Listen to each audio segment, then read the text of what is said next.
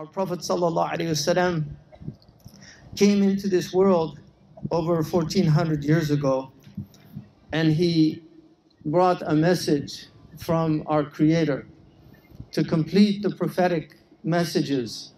Alhamdulillah, we have to marvel at the miracle of this religion because 1400 years later, if one of the Sahaba came here, he might be surprised that we're speaking in English, but he would see the sunnah of his Prophet ﷺ being implemented in California. He would see coming out, which is the sunnah of the uh, Eid prayer, coming out to an open space. He would see the ranks, he would see the women where they are and the men where they are. And this is the sunnah of our Prophet. ﷺ, not in any way to oppress the women, but just for the order of the dunya. Alhamdulillah, he said the best of the ranks are the first ranks for the men, and the best of the ranks are the last ranks for the women. This is the sunnah of Allah subhanahu wa ta'ala. And the prayer, the reciter recited with the tajweed that the Prophet taught to his Sahaba. They said, when he recited the Quran, كان يمد في قراءته مدا. He recited in that way, with the mudud, these elongations, because they have an effect on the heart. This is not the kalam al-bashar. The way people talk is different from the way Allah subhanahu wa ta'ala wants us to hear His words. And that's why they're recited the way they are. Alhamdulillah, fasting is a great blessing from Allah. Now we know the benefits of what they call intermittent fasting. But we didn't need to hear it from the doctors because we got it from our Lord who created our bodies and He knows what's good for our bodies and what's bad for our bodies. The Prophet ﷺ said, Sumu tasahhu.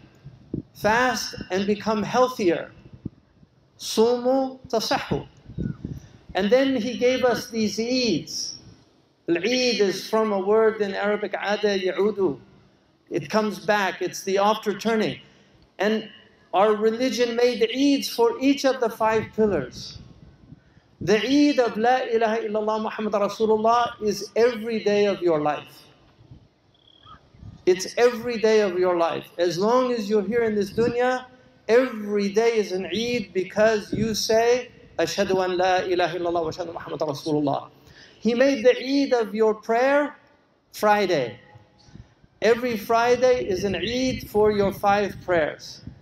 He made an Eid for zakat when the completion of the year of the wealth comes and you pay your zakat, it's an Eid. He made an Eid for the Hajj. So when you uh, when when they complete the Hajj, we all celebrate because a group did the fard kifaya anna. They they fulfilled that obligation for all of us. So these are the ayat of our deen. They're days of rejoice. The Prophet ﷺ said, Ayamu Eid, Ayamu Dhikrin wa Shukrin wa Aklin wa Shurbin. These are days of gratitude and of eating and drinking also, remembering Allah, but eating and drinking. And we have to remember we're living in an age of luxury. Now they're saying, oh, uh, there's going to be food shortages. There's not food. We waste half the food. According to the UN, half the food produced on this planet is thrown away. So there's no food shortages. There's just ingratitude. And when there's ingratitude, Allah subhanahu wa ta'ala constricts the people. لَإِن شَكَرْتُمْ لَأَزِيدَنَّكُمْ If you're grateful, I'll give you more. ضرب الله مثلا قرية كانت آمنة مطمئنة يأتيها رزقها رغدا من كل مكان فكفرت بأنعم الله فأذاقها الله لباس الجوع والخوف بما كانوا That Allah subhanahu wa ta'ala, He has given a likeness of a city, and that was Mecca because they had provision from all over. People came from all over to visit Mecca and they brought with them their goods and their services from all over. But when the Prophet came, they rejected him. They showed ingratitude for the blessing of Allah. And so Allah caused them, they went into drought. And they actually had food shortages in Mecca after being so filled with the blessings. So this is one of the tragedies of ingratitude. And this is why our Prophet ﷺ said, Arba'un min utiyahunna faqad utiya khayra dunya. There's four things that whoever's given these four things is given the good of this world. And then he said, قَلْبًا شَاكِرًا A grateful heart. قَلْبًا شَاكِرًا وَلِسَانًا ذَاكِرًا and a tongue that remembers Allah subhanahu wa ta'ala. And, and that emanates from the gratitude of the heart. That's why he began with the, the grateful heart, because everything after that comes from a grateful heart. قلبا شاكرا ولسانا ذاكرا وبدنا صابرا على البلاء and a body that's patient with the tribulations a body that's patient with the tribulations وزوجة لا تبغيه خونا في نفسها ولا ماله and a virtuous spouse a virtuous spouse if you have those four you've been given all of the good of the dunya in another hadith the prophet ﷺ said من أصبح معافا في بدنه آمنا في سربه له قوت يومه فكأنما حيزت له الدنيا بحذافرها أو كما قال whoever wakes up and I first heard this uh, hadith in Medina I was just on a prayer rug that said Medina travel so it I like a magic carpet I felt like going to Medina I first heard this from Sheikh Muhammad al-Hajjaj the scholar from Syria we, I was walking out and I saw him. He looked beautiful, man, had a beautiful face. And I walked up to him and I said to him, uh, Assalamu alaikum, Shaykh. I didn't know him. And he gave me his book. He had a book with him that he'd written, and he gave me the book. And then he said to me, Qala Rasulullah, and we were in front of the Prophet's masjid. He said, Qala Rasulullah, and then he quoted that hadith. And I memorized it from that day. It's a beautiful hadith. Whoever wakes up healthy in his body, healthy in his body, secure, he feels secure, like he's not worried about somebody bulldozing his house or dropping a bomb over his head. And he has enough food for that day, not for the year, just for that day. It's as if he has come into the day having all of the world and what's in it. Subhanallah. It's amazing. So, our Prophet ﷺ gave us this guidance. And one of the most one of the greatest blessings of this religion is this month that we just finished. We were waiting with great expectation for the month, and now it's gone. It's as if it was like a blink of an eye. The fasting was facilitated, we didn't feel the hunger. It's amazing. People, the, the people outside of our faith, what? You're fasting a whole month? How do you do that? They don't know that Allah facilitates these things for us. But this is a month of returning to the Quran. And it's a month to remind us that we should be with the Quran for the whole year. The Prophet ﷺ did not, he was the most generous of men, and in Ramadan he was even more generous, but he was, his practice was constant. His, his, his tahajjud was the same in Ramadan as it was in any other month. The Prophet ﷺ lived his life as if every day was Laylatul Qadr. And in fact, there was a, an opinion, one of the Andalusian sheikh said, you should expect Laylatul Qadr any night of the year. So this month is a month of returning to Allah subhanahu wa ta'ala. And Ibn Qayyim al-Jawziyah said, Yusuf salam had 11 brothers and they envied him. And they abused him and yet he forgave them. He said Ramadan is like Sayyidina Yusuf. It's the 12th month, and it forgives the other 11 months. This is a great blessing. Allah forgives us for our sins. The Prophet said, one man he came and he said, Ya Rasulullah, astaghfirullah, I kissed a woman that wasn't, I wasn't married to him. Qubla. This is called lamam. Don't do it. But the Prophet ﷺ said that if you, then the, the verse was revealed that Allah subhanahu wa ta'ala forgives the sayyat with these actions like fasting and prayer. All these things remove the saghair. He said, as long as you don't do a major sin. And if you do a major sin, and may Allah forgive anyone, uh, inshallah, nobody here, you're all good mu'minun. But there's people that do major sins, the kaba'ir. Anyone that does a major sin, they have to make tawbah. The other sins, we should make tawbah for them, but they're removed by these actions like fasting.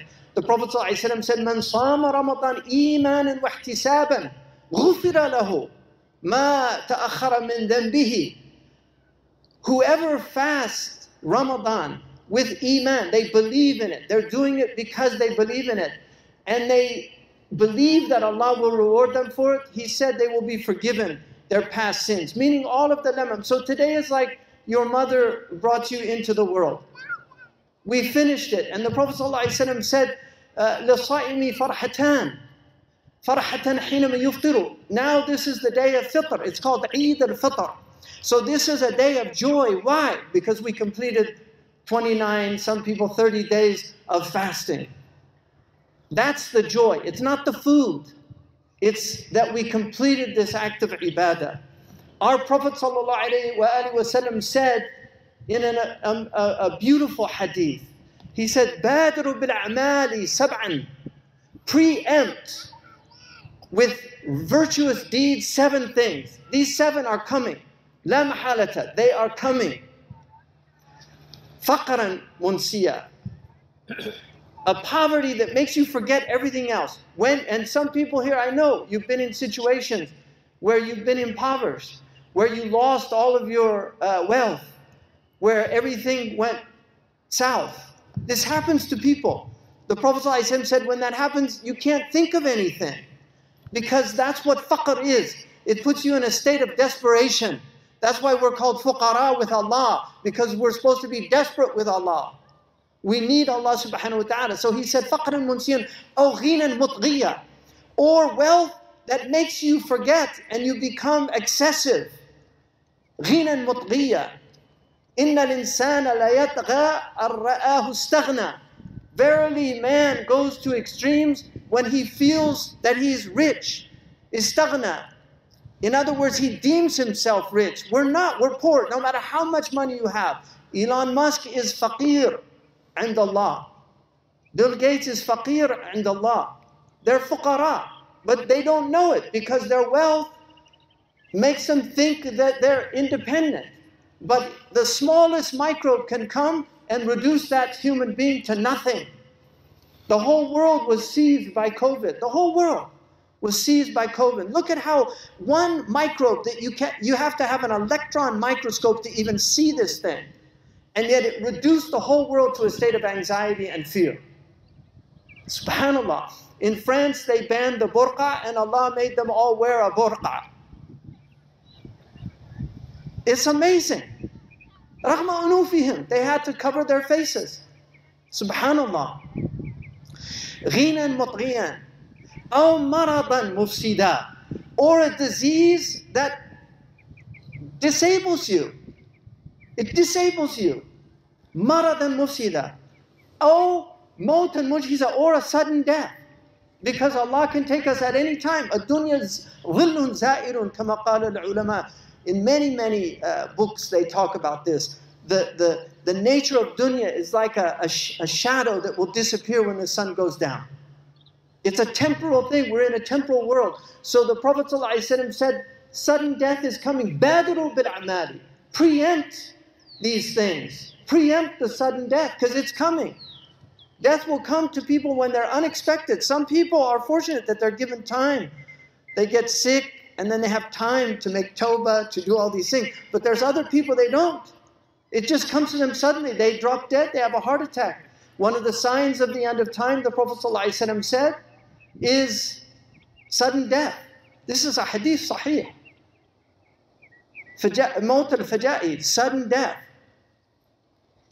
People used to die natural deaths. Now they just drop dead. They're a physician, in, a, a, a, an athlete in perfect physical condition on the soccer field, and he just drops dead. YouTube's filled with videos of these people. A basketball player in perfect physical condition, and he just drops dead. Sudden death. None of us knows when the times come. The Prophet said also Falij, that there would be strokes. He, he said it's one of the signs of the latter days, strokes. He also said Bawasir was a sign of the latter days, hemorrhoids, because people have sedentary lifestyles. They no longer get up and walk around. These are all signs of the latter day. And then he said, Oh, at Dajjal. With Dajjal sharru ghaibin yuntadhar. Or the Antichrist the Prophet ﷺ said that one of the signs of the latter days is the Antichrist is no longer mentioned al manabir. When was the last time you heard any Imam mention the Dajjal? Ask yourselves, when do they mention the Dajjal? And all the signs of the Dajjal are here. The Dajjal is what takes people away. It's materialism. He has one eye. In other words, no depth perception. Everything is two dimensional. He has no depth perception. He fools people. He gives them a Jannah that's a nar. Materialism. You get into it and you're in hell. And he gives them a nar, zuhud, all these things that the Prophet told us to practice. And they say, oh, what? You're depriving yourself of food for a whole month? Why would you do that? That sounds like hell. But for people that experience it, it's a Jannah. So this is what the Dajjal does, the Antichrist. Why is the Antichrist? The way of Zuhud is the way of Isa. Our prophet was the balanced, he was the most balanced of prophets. So he had Zuhud as an option, but people, he also let people enjoy uh, their worldly things as long as they paid their zakat and fulfilled their obligations. Or he said, Oh, sa'atu wa sa'atu adha wa amar. Or the hour. The hour is coming. And the hour is more bitter and more painful the hour. And the hour are three according to the ulama. There's what's called sa'atu sughra, which is each one of us has a sa'a, which is the end of our lives. We have telomeres on our cells that determine how long our cells will last. And people will come to an end. We're like batteries. We don't know where we are. You know, you have these cell phones and they're full battery, like that's your lifespan. But then one third, two third, three, and then it goes on red. Where are you? We don't know. We don't know where we are on the battery. Then it starts blinking, and then it just dies. And this is what Allah has made. This is His sunnah. Kataba ala ibn Adam al maut. He decreed for us death. And on the Yom Qiyamah, death comes as a ram. Death, thou shalt be no more. As the poet said, Yuzbah al maut. Death will be sacrificed on the day of judgment as a ram, personified as a ram, yudbah. Death be not proud. Death comes to an end. People think these things now are fairy tales. Allah warns us about thinking they're asatirul awwaleen, the myths of the ancients. These are the things all the prophets brought. They came with the same message. All of them. Show me who didn't talk about a day of judgment. Even Socrates talks about a day of judgment. Even Socrates talks about a day of judgment. Everyone will have a reckoning. There's no free lunch, as they say. Alhamdulillah.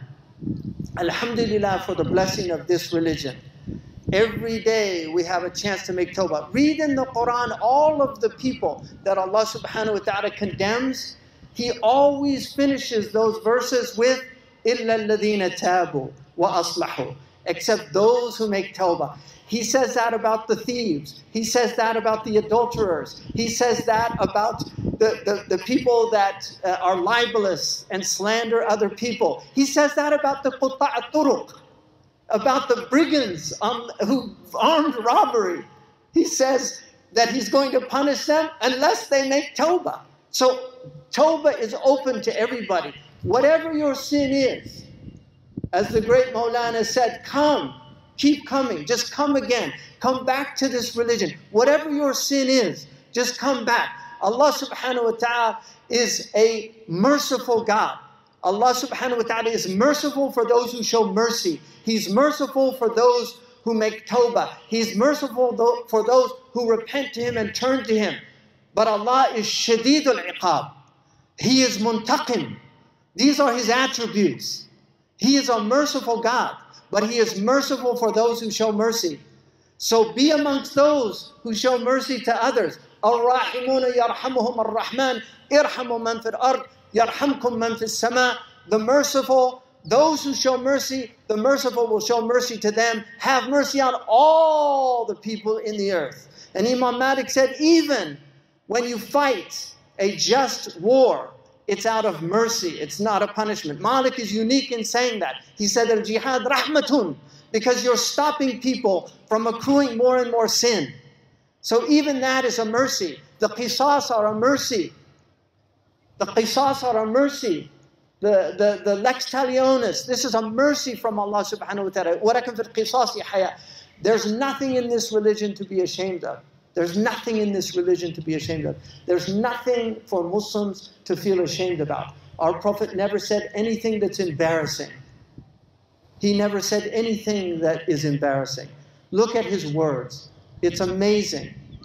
And this Quran, this extraordinary book that Allah has given us. Don't let Ramadan don't wait until the next Ramadan, which you don't know that whether you'll get it or not. Allah subhanahu wa ta'ala says in the, uh, in the Quran, Allah subhanahu wa ta'ala says, وَتَرَى كُلُّ أُمَّةٍ جَاثِيَةٍ كُلُّ أُمَّةٍ تُدْعَى إِلَى كِتَابِهَا You will see every ummah on the day of judgment bent down, kneeling down, jathiyah, each one will be called to their book. Today you will be rewarded for what you had done in this dunya. هذا كتابنا. This is our book. ينطق عليكم بالحق. It speaks the truth. This book speaks the truth. إنا كنا نستنسخ ما كنتم تعلمون. We are recording everything that you're doing. Everything that you're doing is recorded. Though Allah subhanahu wa ta'ala in Surah Fussilat, at the end of Surah Al-Fussilat, He said, سَنُرِيهِمْ آيَاتِنَا فِي الْآفَاقِ وَفِي أَنفُسِهِمْ حَتَّى يَتَبَيَّنَ لَهُمْ أَنَّهُ الْحَقِّ أَوَلَمْ يَكْفِي بِرَبِّكَ أَنَّهُ عَلَى كُلِّ شَيْءٍ شَهِيدٌ He, he is going to show His signs on the self, in the self and on the horizon. What is the horizon? It's the meeting place between the heavens and the earth. What is the self? It's the meeting place between the heavens and the earth. It's the joining of the material and the physical. It's the joining of the angelic and the bestial. He says in this ayah, He will show the signs حتى يتبين لهم أنه الحق. Till it becomes clear to them that what He says is true. Allah says He's recording everything. Now we have all of your lives with these cell phones. You what these corporations know about you is unbelievable. They know what you bought yesterday in the store. They know the telephone calls you made. They know how much money you make. They know where you, just walking around with this thing, they know where you were all day long. Every single spot. And the police pull these things up. Wherever you go, there's videos recording every act you do. You go into a store and there's a video. Somebody robs the store and then they put it up on YouTube and you can see the man robbing the store. Subhanallah. Malakum kayfa tahkumun. Who would have thought that every action now is recorded in this day and age. And Allah tells us He's recording everything. It's all recorded. And even uh, the great Imam al-Awza'i said, on the day of judgment, there's something, it's called Yom al-Ard, the day of when, when, when it's revealed. The ard, arada alayhi ya'ridu, is to show somebody, to, to display something. It's the day of display. He said every moment will have to sit, every human being will have to sit and watch his entire life. Watch his entire life. It's all recorded. This is what Allah subhanahu wa ta'ala says. Inna kunna nastansikhu. We were recording everything that you were doing. There's nothing that will be hidden except except and this is in, in the dunya, you have something called Sony Pro Cut. This, this is what, if you, you can buy this, and then when you have a recording, you can just make cuts. You edit it. You can take it out. They, people do this all the time. They edit what they recorded. Our editing system, our Allah Pro Cut, is Toba. If you want to edit your life, make Toba. Make Toba for those things that you've done that you're ashamed of. Ask Allah for forgiveness and Allah subhanahu wa ta'ala will forgive you. Allah subhanahu wa ta'ala says in the Quran,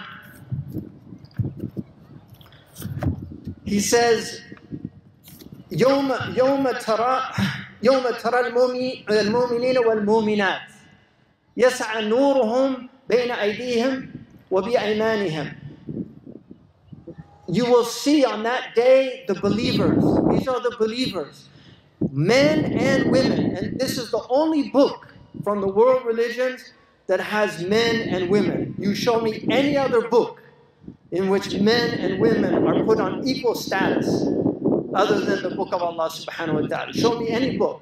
The Hindu scriptures, the Buddhist scriptures, the Jewish scriptures, the Christian scriptures. Show me where it says believing men and believing women in so many verses. يسعى نورهم بين أيديهم وبأيمانهم بشراكم اليوم بشراكم اليوم You have good news on this day. أبشروا Good news on this day. جنات تجري من تحتها الأنهار خالدين فيها. You will have rivers, gardens under which rivers flow. ذلك هو الفوز العظيم. That is the great reward. يوم يقول المنافقون والمنافقات للذين آمنوا انظرونا نقتبس من نوركم. The hypocrites, what would they say? Give us some of your light. Because on the Yom Qiyamah, what did the Prophet say about people that go in the dark to the masjid at Fajr and at Isha, the two difficult prayers on the Munafiqun? He said, Bashirhum, بِنُورَ التَّامِ يوم القيامة. Give them good news that they will have complete light on the day of judgment. Complete light on the day of judgment.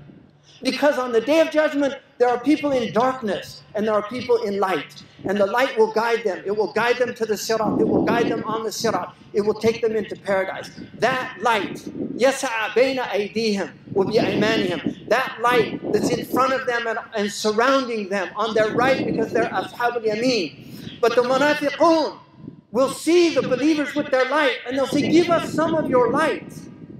And what do the believers say? Allah subhanahu wa ta'ala says, فَضُرِبَ بَيْنَهُمْ بِسُورٍ لَهُ بَابٌ ظاهرهم من قبله وباطنهم من قبل الرحمة the, the, the bab has rahmah from one side باب باطنه فيه الرحمة وظاهره من قبل العذاب it has rahmah and then it has adab so there's a sur that separates the believers from the munafiqun and they will see each other and that door separates the, the sur separates them that wall separates them and they will want what the believers have. And the believers will say, and they will yunadunahumu, alam nakum ma'akum? And they will say, weren't we with you? Weren't we with you? The munafiqun that prayed with us, that fasted with us, that did all these things with the believers, but their hearts were diseased. What is the believer? What do they say? قالوا بلى ولكنكم فتنتم أنفسكم وتربصتم وارتبتم وغرتكم الأماني حتى جاء أمر الله وغركم بالله الغرور five things five things this is what they tell the munafiqun they tell them five things فتنتم أنفسكم you put yourselves in fitna you put yourselves in fitna this is what shaitan says to them in hell إنما دعوتكم استجبتم لي فلا تلوموني ولوموا أنفسكم I called you and you answered don't blame me blame yourselves. فَتَنْتُمْ أَنفُسُكُمْ The fitna is not from outside, it's from inside. أَلَا فِي الْفِتْنَةِ سَقَطُوا When they said, لَا تَفْتِينَ يَا رَسُولَ اللَّهِ Oh, I, I can't go to the Byzantines because those blonde-haired women, they're a fitna for me. That's what one of the munafiqun said to the Prophet when, when he asked him, he said, please, don't, don't, don't give me fitna, I can't take those blonde-haired women. And, the, and the Allah says, didn't he fall into fitna? Al fitna fi nafsika. When I was making tawaf, one of the mutawwa, they're gone now because they got rid of all these guys. But I was making tawaf with my wife, and for us, the sunnah is no niqab, the Malikis, no niqab. And, and this man, he starts screaming at my wife, غطي وجهك, غطي وجهك, أنت فتنة, أنت فتنة. And she's like, she got really scared. She said, what's he saying? I said, he's saying you're beautiful. And then I said, الفتنة في قلبك يا Tell the believing men to lower their eyes. I said, the fitna's in your own heart. Leave people alone. فتنتم أنفسكم وتربصتم and you're waiting for problems. That's one interpretation. تربص is a beautiful word. تربصات الدوائر. They wait for calamities to happen. Or تربص الفرص. They wait for opportunities. They sit around waiting. These are the hypocrites. I'll make tawbah later on. I'll make tawbah. Next year I'll, I'll do the tahajjud. This year I won't do Next year I'll do the tarawih. This year I won't do They just wait. وَارْتَبْتُمْ And you had doubts in your hearts. You had doubts in your hearts. وَغَرَّتْكُمُ الْأَمَانِ And all your vain hopes. All your vain hopes. All these vain hopes. The Prophet ﷺ said that the, the, the ajiz, and in a riwayah, the ahmaq, the idiot, the fool, the stupid one, that he's the one that أتبع نفسه هواها وتمنى على الله الأماني. He said he, he lets his nafs do whatever it likes. The ego, just do whatever you want. Do what thou wilt. And then he just has vain hopes about Allah. سَيُغْفَرُ لَنَا One of the signs at the end of time, he said the believers would say, oh, Allah is going to forgive us. What guarantee do you have? What guarantee do you have? If you're upright, bushra lakum. But if you're not upright, you should be wary. Because this is the Quran. Make tawbah. So this is what Allah says. And then He says, وَغَرَّكُمْ بِاللَّهِ الْغَرُورِ The gharur is shaitan, nafs, hawa, dunya. These are the ghurur. One of them, he said uh, that he uh, that uh, ابتلينا بأربع ترميم. Four things they strike me. Four things. بالنبل an Qawsin Bitawtiri. It's, it, they're, they're, arrows that come from a, a strong bow and they hit me. Iblisu wa dunya wa nafsi wa wara. Ya Rabbi ala al-khalasi qadiru. This Iblis, dunya, this world, your own ego, and other people. These are the tribulations of life. Alhamdulillah. So may Allah bless this uh, fast. May Allah subhanahu wa ta'ala make you people of Toba, make us all people of Toba. We need Toba. And may, Allah subhanahu wa ta'ala, inshallah, make you people of the Quran. The Prophet gave us this book, and he complained about us. He said, My people have left this book. And then Allah says that, like that, He makes enemies. So if you abandon the book of, of Allah, you're an enemy of our Prophet. ﷺ. We have to study the book. يتلون كتاب الله ويتدارسونه بينهم إلا سكنت عليهم الملائكة وغشيتهم الرحمة وغشيتهم الرحمة وحفتهم الملائكة وذكرهم الله في من عنده that if you read this book of Allah, if you study it with one another, have groups that come together to read the book, to think about it, to study it,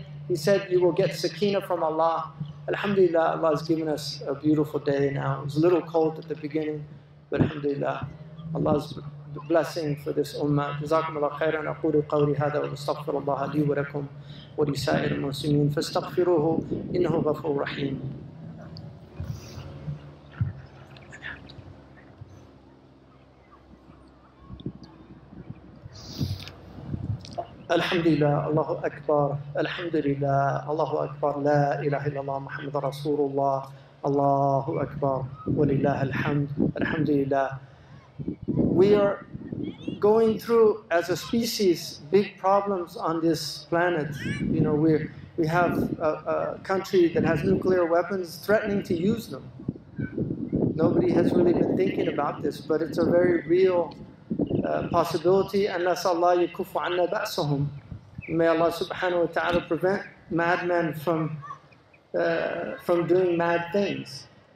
We are now in a state of inflation with people who know about economics. Just look at the, what they call the PPI, the Producer's Price Index, not the CPI. That's what they tell you in Time magazine, but look at the PPI. Things are 150, 200% inflation now for producers of products. This is all what, what Allah calls bunk, ma'isha banka, constricted life. It's from ingratitude. That's the only cause of it. It's just ingratitude. People today are, they're just ungrateful. We've had a cornucopia of goods. Everything just come, you go to the store, it's all there. Now they have all these delays, all these difficulties. Everybody's talking about, oh, the supply chain. Yeah, well, welcome to ingratitude. Everybody complains. It's amazing. I'm even complaining about the people who complain. It's just a, a, we're on a planet of whiners. It's just amazing. We need to stop whining and just really feel gratitude, just gratitude for being alive.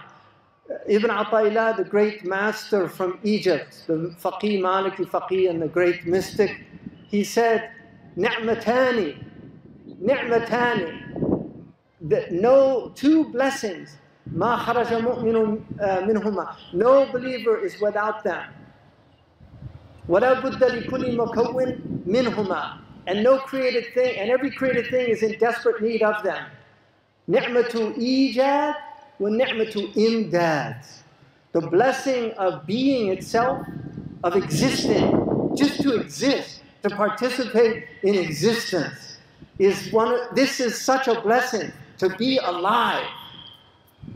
To be alive. There's a man who jumped off the Golden Gate Bridge.